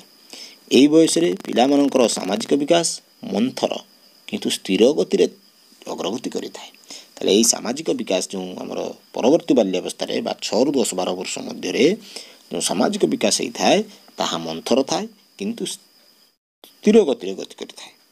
ଏହି ବୟସରେ ଅଳ୍ପ ଚେଷ୍ଟାରେ ବେଶୀ ଆନନ୍ଦ ମିଳିଥାଏ। ବାଳକ ବାଳିକାମାନେ ଏହି ବୟସରେ ପିତାମାତାଙ୍କର ଅଧିକ ଦୃଷ୍ଟି ଯତ୍ନ ଆଉ ସେବାର ଆବଶ୍ୟକ କରିଥାନ୍ତି। କାରଣ ସେମାନେ ଅଧିକାଂଶ ସମୟ ସାଙ୍ଗସାଥି ମେଳରେ ରହି କଟାଇଥାନ୍ତି। ବାହ୍ୟ ଜଗତର ବିଭିନ୍ନ ବସ୍ତୁ ଘଟଣା ବ୍ୟକ୍ତିମାନଙ୍କ ସମ୍ପର୍କରେ ଜାଣିବା ପାଇଁ ସେମାନେ ନିଜେ ଚେଷ୍ଟା କରିଥାନ୍ତି। ଏହି ସମୟ ହେଉଛି ବିଦ୍ୟାଳୟ ମୁଁ ପ୍ରଥମରୁ ଆଲୋଚନା କରିଥିଲି। ବିଦ୍ୟାଳୟ ଶିକ୍ଷାର ଆରମ୍ଭ ସମୟ। ବିଦ୍ୟାଳୟ ପରିବେଶ ରେ ସେମାନେ ପିତାମାତାଙ୍କ ଉପରେ ଅଧିକ ନିର୍ଭରଶୀଳ ନ ହୋଇ ନିଜର ସାମାଜିକ ସମ୍ପର୍କ ବୃଦ୍ଧି କରିବାରେ ବ୍ୟସ୍ତ ରୁହନ୍ତି। ଗୃହ ପରିବେଶରୁ ବିଦ୍ୟାଳୟ ପରିବେଶ ବିଦ୍ୟାଳୟ ପରିବେଶରୁ ସାମାଜିକ ଗୋଷ୍ଠୀର ବିସ୍ତୃତ ପରିବେଶରେ ସେମାନଙ୍କର ସାମାଜିକ ସମ୍ପର୍କ ବୃଦ୍ଧି ପାଇଥାଏ। ଏହି ସମୟରେ ସେମାନଙ୍କ ମନରେ ଗୋଷ୍ଠୀ ଚେତନା ଜାଗ୍ରତ ହୁଏ। ଦଳବଦ୍ଧ ଭାବେ ଖେଳିବା କାର୍ଯ୍ୟ କରିବା ଭ୍ରମଣ କରିବାକୁ ସେମାନେ ପସନ୍ଦ କରନ୍ତି। ବିଭିନ୍ନ ପ୍ରତିଯୋଗିତାରେ ଅଂଶଗ୍ରହଣ କରିବାକୁ ଆଗ୍ରହୀ ହୁଅନ୍ତି। ନିଜ ଦଳର ବିଜୟ ଓ ମର୍ଯ୍ୟାଦା ପାଇଁ କଷ୍ଟ ସହିବାକୁ ପଛଘୁଞ୍ଚା ଦିଅନ୍ତି ନାହିଁ। ନିଜର ଦଳ ପ୍ରତି ଆନୁଗତ୍ୟ ପ୍ରକାଶ କରନ୍ତି। ଦଳଗତ ଭାବରେ କାର୍ଯ୍ୟ କରିବା ଦ୍ୱାରା ସହଯୋଗୀ ଭାବ ସହାନୁଭୂତି ଦୟା ମମତା ସ୍ନେହ ଆତ୍ମତ୍ୟାଗ ପ୍ରଭୃତି ସାମାଜିକ ଗୁଣର ବିକାଶ ଲାଭ ହୁଏ। ଏହି ସମୟରେ ସେମାନେ ଅନୁକରଣ ପ୍ରିୟ ହୋଇଥାନ୍ତି। ନିଜ ପ୍ରିୟ ବ୍ୟକ୍ତିଙ୍କର ଚାଲିଚଳନକୁ ଅନୁକରଣ କରନ୍ତି। ଏହି ବୟସରେ ବାଳକ ବାଳିକାମାନେ ଅନ୍ୟମାନଙ୍କର ପ୍ରିୟ ଭାଜନ ହେବା ପାଇଁ ଇଚ୍ଛା କରିଥାନ୍ତି। ବିଶେଷତଃ ସମବୟସର ସାଥୀମାନଙ୍କର ପ୍ରିୟ ଭାଜନ ହେବା ସେମାନଙ୍କ ଲକ୍ଷ୍ୟ।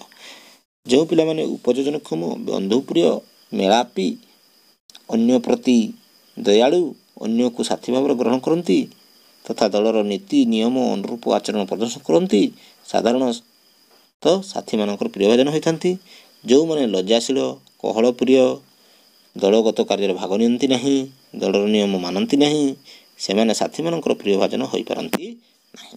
ତାହେଲେ ବାଲ୍ୟାବସ୍ଥାରେ ସମବୟସ୍କ ପିଲାମାନଙ୍କର ଯେଉଁ ଦଳ ବା ଗୋଷ୍ଠୀ ସୃଷ୍ଟି ହୋଇଥାଏ ତାହା ଅନୌପଚାରିକ ହୋଇଥାଏ।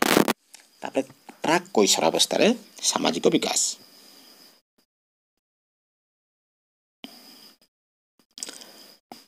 ପ୍ରାକ୍ କୈଶର ଅବସ୍ଥାରେ ପିଲାମାନଙ୍କର ଦଳଗତ ମନୋଭାବର ପରିବର୍ତ୍ତନ ଘଟିଥାଏ। କୌଣସି ଦୁଃସାହସିକ ଓ ଉତ୍ତେଜନାପୂର୍ଣ୍ଣ କାର୍ଯ୍ୟ କରିବା ଦୁଷ୍ଟାମି କରିବା ନିଜ କାର୍ଯ୍ୟ ପ୍ରତି ଅନ୍ୟମାନଙ୍କର ଦୃଷ୍ଟି ଆକର୍ଷଣ କରିବା ପାଇଁ କୌଣସି ପ୍ରକାର ଚମକପ୍ରଦ କାର୍ଯ୍ୟ କରିବାକୁ ସେମାନେ ଦଳଗତ ଭାବରେ ଚେଷ୍ଟା କରନ୍ତି। ତେଣୁ ସେମାନଙ୍କର ସଂଗଠନ ଓ ଦଳଗତ କାର୍ଯ୍ୟ ଯେପରି ସମାଜ ଉପଯୋଗୀ ଆଉ ସମାଜର ଅନୁଗାମୀ ମାର୍ଗରେ ପରିଚାଳିତ ହୁଏ ସେଥିପ୍ରତି ସମସ୍ତେ ସଚେତନ ହେବା ଉଚିତ ବା ଶିକ୍ଷକ ହିସାବରେ ଜଣେ ସଚେତନ ହେବା ଉଚିତ। ଏହି ଅବସ୍ଥାରେ ପ୍ରତ୍ୟେକ ପିଲା ସାଧାରଣତଃ ସାମାଜିକ ପ୍ରତିଷ୍ଠା ନିଜ ଦଳର ସହଯୋଗ ସ୍ୱୀକୃତି ଆଦର ଓ ସ୍ନେହ ମମତା ଆଶା କରନ୍ତି। ସେମାନେ ଅନ୍ୟ ଉପରେ ନିର୍ଭର ନ କରି ସ୍ୱାଧୀନ ମନୋଭାବ ପୋଷଣ କରନ୍ତି। ହର୍ଲୋକଙ୍କ ମତରେ ଆଦ୍ୟ କୈଶୋରାବସ୍ଥାରେ ଆବଶ୍ୟକତା ଗୁଡ଼ିକ ପୂରଣ କରିବା ମୁଖ୍ୟତଃ ତିନୋଟି ଦିଗରୁ ବିଚାର କରାଯାଇଥାଏ। ତାହେଲେ ହର୍ଲୋକ କହିଲେ ଆଦ୍ୟ କୈଶୋରାବସ୍ଥାରେ ଯେଉଁ ଆବଶ୍ୟକତା ଗୁଡ଼ିକ ଅଛି ତାର ପୂରଣ କରିବା ପାଇଁ ତିନୋଟି ଦିଗକୁ ବିଚାର କରିବାକୁ ହେବ। ସେଇ ତିନୋଟି ଦିଗ କ'ଣ? ବୟସ୍କ ଓ ଗୁରୁଜନମାନଙ୍କର ଅନୁମୋଦିତ ଆଚରଣ ଓ ସାମାଜିକ ମୂଲ୍ୟବୋଧ ଏବଂ ବ୍ୟବହାରକୁ ଗ୍ରହଣ କରିବାର ଆବଶ୍ୟକତା ସେମାନେ ଅନୁଭବ କରିଥାନ୍ତି। ପିତାମାତା ଆତ୍ମୀୟ ସ୍ୱଜନ ଓ ଗୁରୁଜନମାନଙ୍କ ଠାରୁ ନିର୍ମଳ ଆଉ ନିଃସ୍ୱାର୍ଥ ସ୍ନେହ ପାଇଁ ସେମାନେ ବ୍ୟାକୁଳ ହୋଇଥାନ୍ତି। ନିଜ ଶକ୍ତି ଉପରେ ନିର୍ଭର କରି କଠିନ ପରିଶ୍ରମ ଓ ଚେଷ୍ଟା ବଳରେ ଉପଯୁକ୍ତ ଲକ୍ଷ୍ୟ ହାସଲ କରିବାକୁ ସେମାନେ ଉତ୍ସାହୀ ହୁଅନ୍ତି। ସେମାନଙ୍କର ଏହି ଆବଶ୍ୟକତା ଗୁଡ଼ିକ ପୂରଣ ହେଲେ ସେମାନଙ୍କର ସାମାଜିକ ବିକାଶ ସମ୍ଭବ ହେବ। ତାହେଲେ ଏଇ ଯେଉଁ ପ୍ରାକ୍ କୈଶୋରାବସ୍ଥାରେ ସେମାନଙ୍କର ସାମାଜିକ ବିକାଶକୁ ଦୃଷ୍ଟି ଦେବା ଏକାନ୍ତ ପ୍ରୟୋଜନ ତେଣୁ ଅର୍ଲୋକ କହିଲେ ଯେ ତାଙ୍କର ତିନୋଟି ଜିନିଷକୁ ଆମେ ଧ୍ୟାନ ଦେବା ଦରକାର।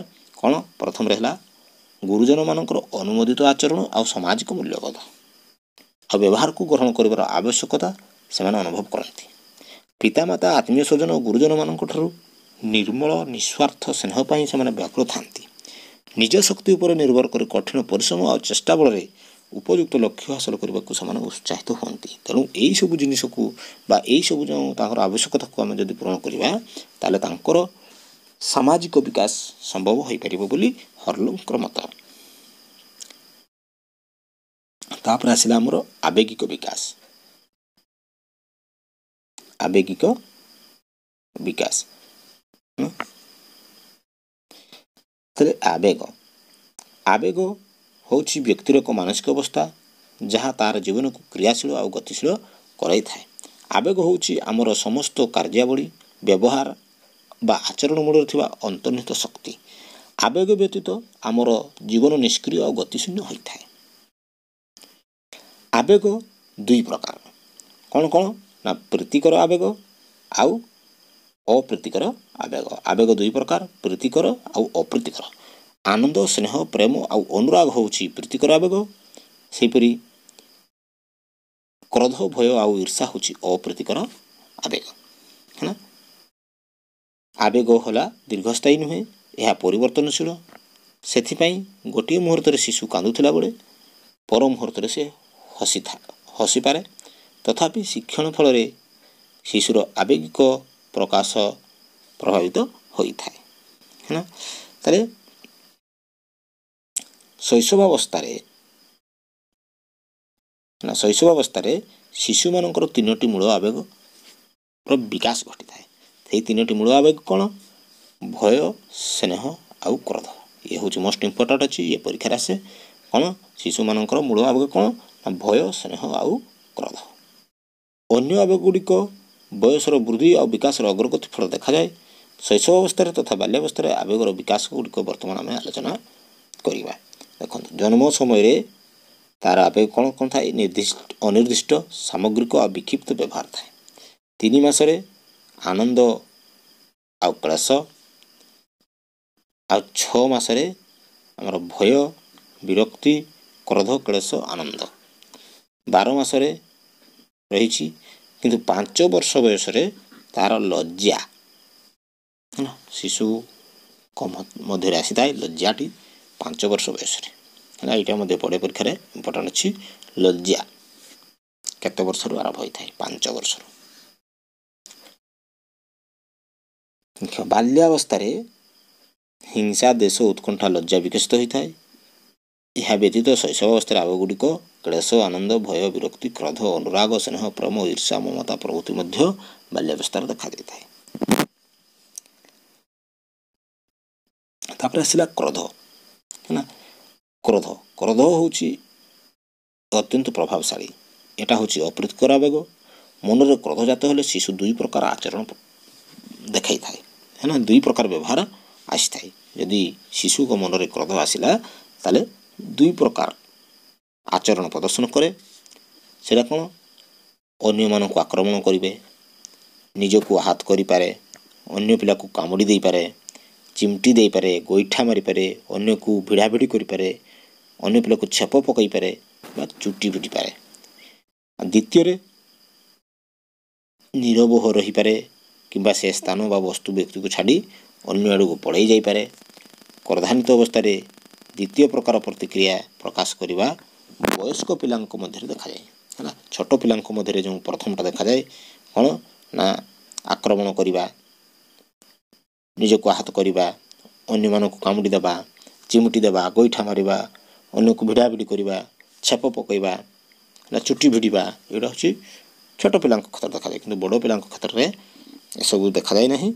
ନିରବ ରହିବା ଦେଖାଯାଏ। ସ୍ଥାନ ବା ବସ୍ତୁ ବା ବ୍ୟକ୍ତିଙ୍କୁ ଛାଡ଼ି ପଳାଇବା ଦେଖାଯାଏ। ହେଲା ତାହେଲେ ଶିଶୁ କ୍ରୋଧାନ୍ୱିତ ହୁଏ କାହିଁକି ଶିଶୁ କାହିଁକି କ୍ରୋଧାନ୍ୱିତ ହୁଏ ବର୍ତ୍ତମାନ ଦେଖିବା ତାର କ'ଣ କାରଣ ହେଇପାରେ ସେଥିପାଇଁ କେତେକ କାରଣ ରହିଛି ଯେ ଶିଶୁର ଦୈନନ୍ଦିନ ଜୀବନରେ ପିତାମାତାଙ୍କର ଅଯଥା ହସ୍ତକ୍ଷେପ ହେଲେ ଶିଶୁର ସାମର୍ଥ୍ୟ ବାହାରେ ତାକୁ କୌଣସି କାର୍ଯ୍ୟ କରିବାକୁ କୁହାଗଲେ ଶିଶୁର ଇଚ୍ଛା ବିରୋଧରେ କୌଣସି କରିବାକୁ କାର୍ଯ୍ୟ କରିବାକୁ କୁହାଗଲେ ଦୀର୍ଘ ସମୟ ପାଇଁ ଶିଶୁକୁ କୌଣସି ସ୍ଥାନରେ ଅବରୋଧ କରି ରଖିଲେ ଅନ୍ୟ ଭାଇ ଭଉଣୀ କିମ୍ବା ଅନ୍ୟ ପିଲା ପ୍ରତି ପିତାମାତାଙ୍କର ବା ଶିକ୍ଷକଙ୍କର ପ୍ରିୟା ପ୍ରୀତି ବା ପକ୍ଷପାତିତା ଆଚରଣ ଥିଲେ ଶିଶୁର କ୍ଳାନ୍ତ ଆଉ ଅସୁସ୍ଥ ଅବସ୍ଥା ଥିଲେ ମଧ୍ୟ ଶିଶୁ କ୍ରୋଧ ହୋଇଥାଏ। ତାହେଲେ ଏହି କ୍ରୋଧରୁ ଶିଶୁକୁ ଶାନ୍ତ କରିବା କିପରି? ଶାନ୍ତ କରିବାର ଉପାୟ କ'ଣ ରହିଛି? ଶିଶୁମାନଙ୍କର କ୍ରୋଧ କ୍ଷଣସ୍ଥାୟୀ ତେଣୁ ଶିଶୁ ଶାନ୍ତ ହେବା ପାଇଁ କ୍ରୋଧ ବିଷୟରେ ତାହା ସହିତ ଆଲୋଚନା କରି ତାକୁ ବୁଝାବୁଝି କରିବା ଆବଶ୍ୟକ। ଶିଶୁ କ୍ରୋଧାନ୍ୱିତ ହେଲେ ତାକୁ ମାଡ଼ ବା ଗାଳି ଦେବା ଅନୁଚିତ। କ୍ରୋଧ ସମୟରେ ଶିଶୁ ମନରେ ପ୍ରୀତିକର ଭାବନା ସୃଷ୍ଟି କରାଇ କ୍ରୋଧଜାତ କରାଉଥିବା ବସ୍ତୁ ବ୍ୟକ୍ତି ବା ଘଟଣା ଠାରୁ ଶିଶୁର ମନକୁ ଅନ୍ୟ ଆଡ଼କୁ ଆକର୍ଷିତ କରିବା ଆବଶ୍ୟକ। ଶିଶୁର କାର୍ଯ୍ୟକଳାପରେ ଅଯଥା ହସ୍ତକ୍ଷେପ କରାଯିବା ଅନୁଚିତ। ଶିଶୁ ଯେଉଁ କାର୍ଯ୍ୟ ପସନ୍ଦ କରୁନାହିଁ ସେ କାର୍ଯ୍ୟ ବା ସେପରି ବ୍ୟବହାର ପୁନରାବୃତ୍ତି କରାଯିବା ଅନୁଚିତ। କ୍ରୋଧାନ୍ତ ଅବସ୍ଥାରେ ଶିଶୁକୁ ସମ୍ଭାଳିବା ପାଇଁ ଯେଉଁ ଦକ୍ଷତା କୌଶଳ ଆବଶ୍ୟକ ହୋଇଥାଏ ତାହା ଶିଶୁକୁ ଧୀରେ ଧୀରେ ଶିକ୍ଷା ଦିଆଯିବା ଉଚିତ। ତାପରେ ଆସିଲା ଭୟ।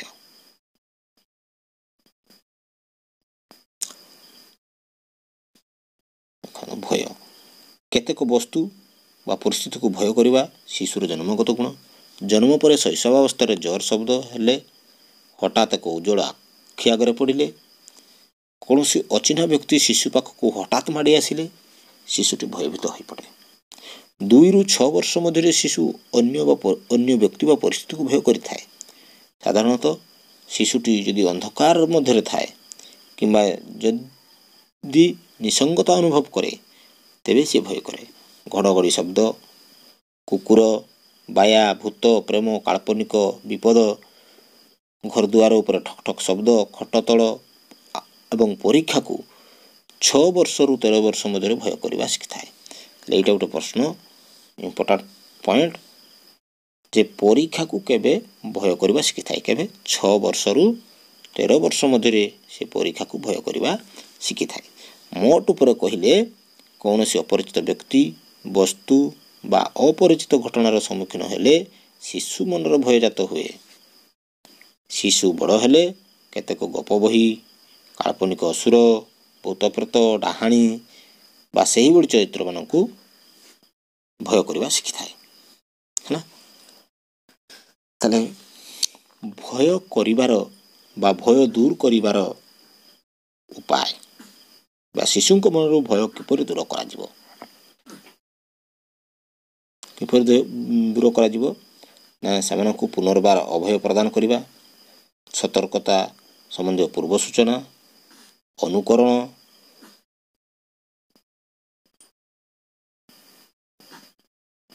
ସ୍ନେହ ସ୍ନେହ ଦେଖିବା ବର୍ତ୍ତମାନ ଆମେ କରିବା ସ୍ନେହ। ସ୍ନେହ ଏକ ସକାରାତ୍ମକ ଆବେଗ କୌଣସି ବ୍ୟକ୍ତି ପଶୁ ବସ୍ତୁ ପ୍ରତି ତା'ର ସ୍ନେହ ଭାବ ପ୍ରକାଶ କରିପାରେ। ଯେଉଁ ବ୍ୟକ୍ତି ପଶୁ ବା ବସ୍ତୁକୁ ଶିଶୁକୁ ପ୍ରୀତିକର ବା ଆନନ୍ଦ ଅନୁଭୂତ ହୋଇଥାଏ। ଶିଶୁ ସେହି ବ୍ୟକ୍ତି ପଶୁ ବା ବସ୍ତୁ ପ୍ରତି ତା'ର ସ୍ନେହ ଭାବ ପ୍ରକାଶ କରିଥାଏ। ଏହାର ଅର୍ଥ ହେଉଛି ଶିଶୁ ଅନ୍ୟମାନଙ୍କଠାରୁ ସ୍ନେହ ଆଶା କରେ ଏବଂ ଅନ୍ୟକୁ ମଧ୍ୟ ସ୍ନେହ ଦେଇପାରେ।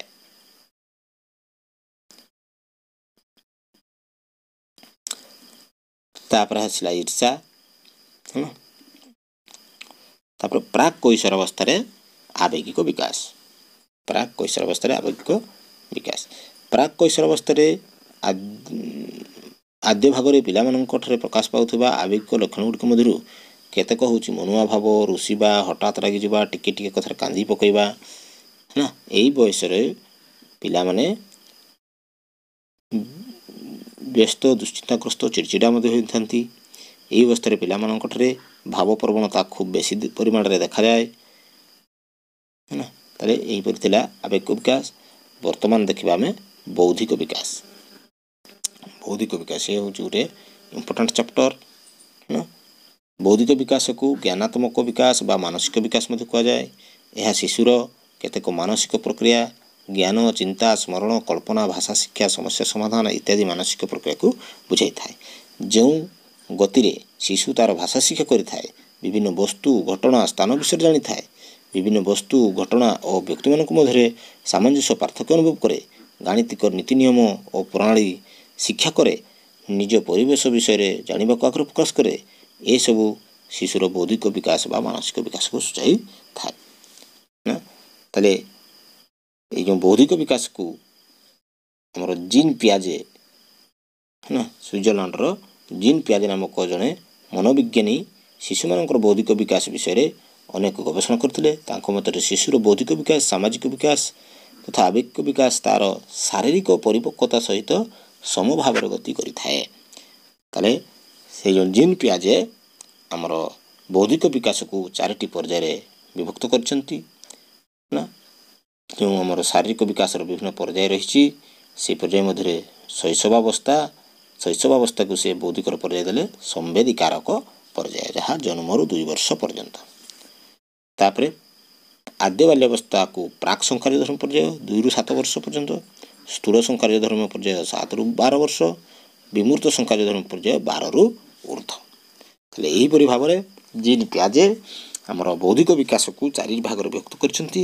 ସମ୍ବେଦିକାରକ ପର୍ଯ୍ୟାୟ ଯାହାକି ଜନ୍ମରୁ ଦୁଇ ବର୍ଷ ପ୍ରାକ୍ ସଂକାରିଧନ ପର୍ଯ୍ୟାୟ ଜନ୍ମରୁ ସରି ଦୁଇ ବର୍ଷରୁ ସାତ ବର୍ଷ ତୁଳ ସଂକାରିଧନ ପର୍ଯ୍ୟାୟ ସାତରୁ ବାର ବର୍ଷ ଆଉ ବିମୂର୍ତ୍ତ ସଂକାରିଧନ ପର୍ଯ୍ୟାୟ ବାର ବର୍ଷରୁ ଉର୍ଦ୍ଧ୍ୱ ତାହେଲେ ଏଇ ବୟସ ମଧ୍ୟରେ ଶିଶୁମାନଙ୍କର କିପରି ବୌଦ୍ଧିକ ବିକାଶ ବା ମାନସିକ ବିକାଶ ସାଧିତ ହୋଇଥାଏ ବର୍ତ୍ତମାନ ଆମେ ଦେଖିବା। ଆଲୋଚନା କରିବା ବୌଦ୍ଧିକ ବିକାଶର ପ୍ରଥମ ପର୍ଯ୍ୟାୟ ଯାହାକି ସମ୍ବେଦିକାରକ ପର୍ଯ୍ୟାୟ ଜନ୍ମରୁ ଦୁଇ ବର୍ଷ ପର୍ଯ୍ୟନ୍ତ। ବୌଦ୍ଧିକ ବିକାଶର ପ୍ରଥମ ପର୍ଯ୍ୟାୟକୁ ସମ୍ବେଦିକାରକ ପର୍ଯ୍ୟାୟ କୁହାଯାଏ।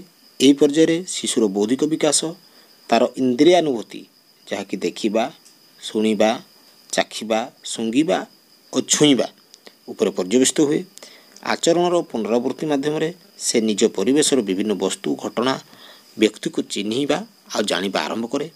ନୂଆ ବସ୍ତୁ ନୂଆ ବ୍ୟକ୍ତି ବା ନୂଆ ନୂଆ ଘଟଣା ବିଷୟରେ ଜାଣିବା ପାଇଁ ତା'ର ଆଗ୍ରହ ପ୍ରକାଶ କରେ। ଏହି ପର୍ଯ୍ୟାୟରେ ବୌଦ୍ଧିକ ବିକାଶର ତିନୋଟି ବିଶେଷ ଲକ୍ଷଣ ହେଉଛି ବସ୍ତୁର ସ୍ଥାୟିତ୍ୱ ବିଷୟରେ ଜାଣିବା ଆରମ୍ଭ କରିଥାଏ କାରଣ ଆଉ ଫଳାଫଳ ଜାଣିବା ଆଉ ଅନୁକରଣ କରିବା ଆରମ୍ଭ କରେ। ଏହା ଥିଲା ସମ୍ବେଦିକାରକ ପର୍ଯ୍ୟାୟର ବିଶେଷତ୍ୱ ତାପରେ ଆସିଲା ଆପଣଙ୍କର ପ୍ରାକ୍ ସଂକାର୍ଯ୍ୟଧର୍ମୀ ପର୍ଯ୍ୟାୟ। ତାହେଲେ ବୌଦ୍ଧିକ ବିକାଶର ଦ୍ୱିତୀୟ ପର୍ଯ୍ୟାୟକୁ ଆମେ କହୁଛନ୍ତି ପ୍ରାକ୍ ସଂକାର୍ଯ୍ୟଧର୍ମୀ ପର୍ଯ୍ୟାୟ ବା ଦୁଇ ବର୍ଷରୁ ସାତ ବର୍ଷ ବୟସ। ବୌଦ୍ଧିକ ବିକାଶର ଦ୍ୱିତୀୟ ପର୍ଯ୍ୟାୟକୁ ପ୍ରାକ୍ ସଂକାର୍ଯ୍ୟଧର୍ମୀ ପର୍ଯ୍ୟାୟ କୁହାଯାଏ। ଏହି ପର୍ଯ୍ୟାୟ ହେଉଛି ଶିଶୁର ଯୁକ୍ତିସଙ୍ଗତ ଚିନ୍ତାଧାରା ବିକାଶର ପୂର୍ବ ପର୍ଯ୍ୟାୟ। ଏହି ପର୍ଯ୍ୟାୟର ପ୍ରଥମ ସୋପାନରେ ବା ଦୁଇରୁ ଚାରି ବର୍ଷ ମଧ୍ୟରେ ଶିଶୁ ଦ୍ରୁତ ଗତିରେ ଭାଷା ଶିକ୍ଷା କରିଥାଏ। ତାହେଲେ ଶିଶୁ କେଉଁ ବୟସରେ ଭାଷା ଶିକ୍ଷା ଦ୍ରୁତ ଗତିରେ ଭାଷା ଶିକ୍ଷା କରିଥାଏ ନା ଦୁଇ ବର୍ଷରୁ ଚାରି ବର୍ଷ? ଏହି ସମୟରେ ମାତୃଭାଷା ସମ୍ବନ୍ଧୀୟ ଦକ୍ଷତା ହାସଲ କରିଥାନ୍ତି। ଅଧିକାଂଶ ଶବ୍ଦ ସେ କହିପାରେ ବୁଝିପାରେ ଆଉ ସେଗୁଡ଼ିକୁ ବ୍ୟବହାର କରି ବାକ୍ୟ କହିପାରେ।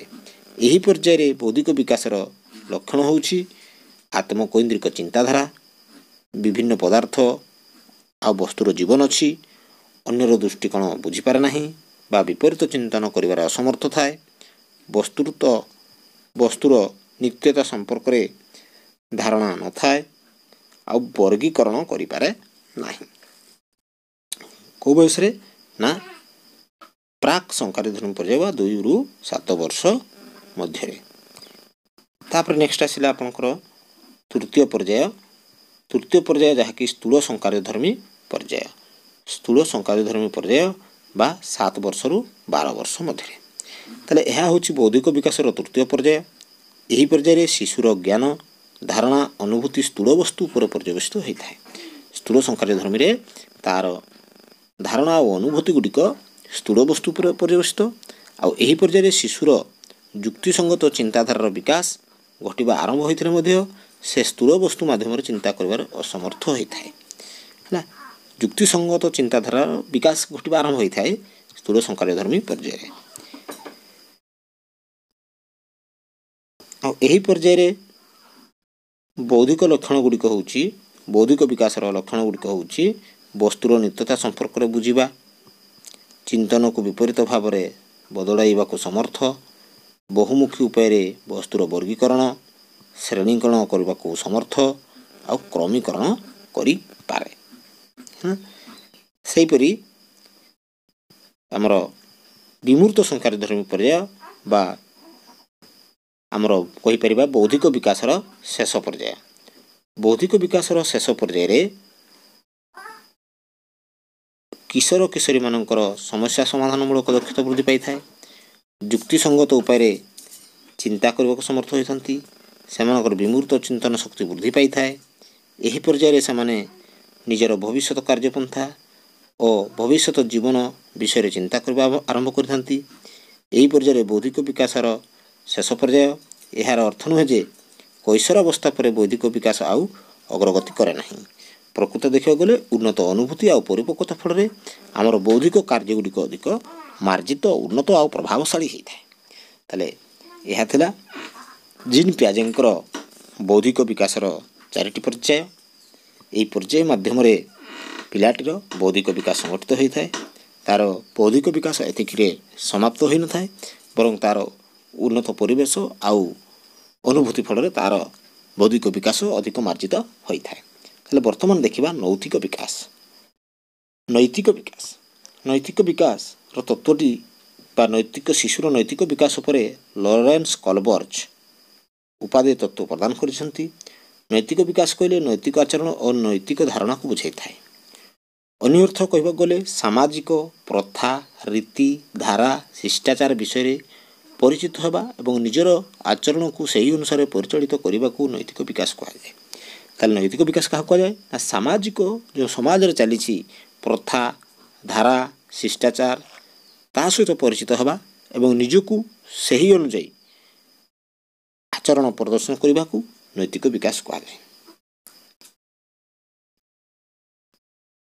ତାହେଲେ ଦେଖ ନୈତିକ ବିକାଶରେ ଏ ଯେଉଁ ଆମର ସାରଣୀଟି ରହିଛି ଏହି ସାରଣୀରୁ ଦେଖିବା ଯେ ଶୈଶବାବସ୍ଥା ଶୈଶବାବସ୍ଥାରେ ଶିଶୁର ନୈତିକ ବିକାଶ ଆରମ୍ଭ ହୋଇନଥାଏ ବା ନୈତିକ ବିକାଶ ହୋଇନଥାଏ ଶୈଶବାବସ୍ଥାରେ ଏହି ପର୍ଯ୍ୟାୟରେ ତା'ର ବିବେକ ଉଦ୍ରେକ ହୋଇନଥାଏ।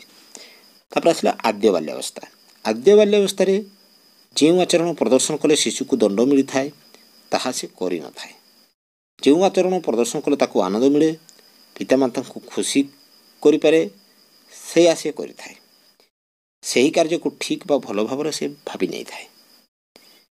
ପରବର୍ତ୍ତୀ ବାଲ୍ୟାବସ୍ଥାରେ ପରବର୍ତ୍ତୀ ବାଲ୍ୟାବସ୍ଥାରେ ନୈତିକ ବିକାଶ ପିଲାମାନେ କେଉଁ କାର୍ଯ୍ୟଟି ଭୁଲ ବା ଠିକ୍ର ନିଷ୍ପତ୍ତି ନିଜେ ନିଅନ୍ତି ନାହିଁ ଏହି ପର୍ଯ୍ୟାୟର ପିଲାମାନଙ୍କଠାରେ ସମାଜ ଆଉ ବିଦ୍ୟାଳୟର ନିୟମ ମାନିବା ବଡ଼ ଲୋକଙ୍କୁ ସମ୍ମାନ ପ୍ରଦର୍ଶନ କରିବା ପିତାମାତା ଶିକ୍ଷକଙ୍କର ଆଦେଶ ମାନି କାର୍ଯ୍ୟ କରିବା ଏହିପରି ନୈତିକ ଗୁଣର ବିକାଶ ହୋଇଥାଏ ବା ନୈତିକ ଗୁଣ ଗୁଡ଼ିକ ପରିଲକ୍ଷିତ ହୋଇଥାଏ।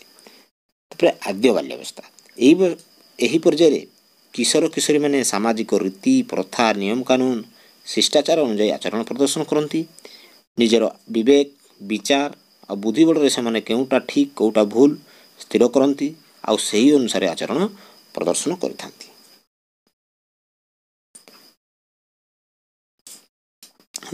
ଏଇସବୁ ଥିଲା। ଏଇସବୁ ବର୍ତ୍ତମାନ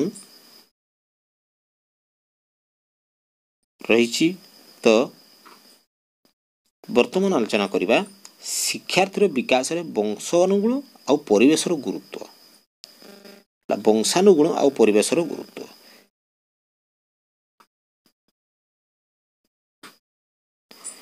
ତାହେଲେ ପ୍ରତ୍ୟେକ ଶିଶୁ କୌଣସି ନା କୌଣସି ଅନ୍ତର୍ନିହିତ ଗୁଣର ଅଧିକାରୀ ହୋଇଥାନ୍ତି।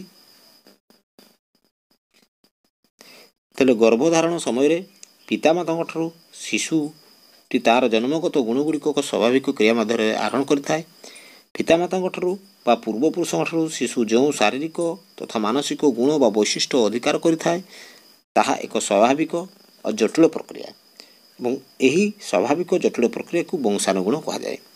ଅନ୍ୟ ଅର୍ଥରେ କହିବାକୁ ଗଲେ ପ୍ରକୃତି ଶିଶୁକୁ ଯେଉଁ ଅନ୍ତର୍ନିହିତ ଗୁଣ ଦାନ କରିଥାଏ ତାହା ହେଉଛି ବଂଶାନୁଗୁଣ।